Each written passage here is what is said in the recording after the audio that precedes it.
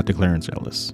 Born in the south side of Chicago, Dr. Ellis's first encounter with a computer occurred while working the midnight shift when he was 15.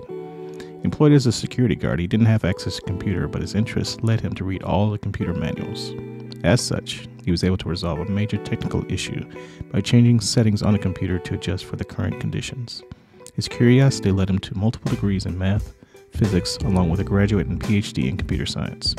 He was the first African American to receive a PhD in computer science. Dr. Ellis has published several books and over 100 technical papers and reports. He has lectured in more than a dozen countries and has been employed by MIT, Stanford, AT&T Bell Laboratories, Xerox, IBM, and the Los Alamos Science Library. Dr. Ellis, thank you for all your contributions. We can because you did.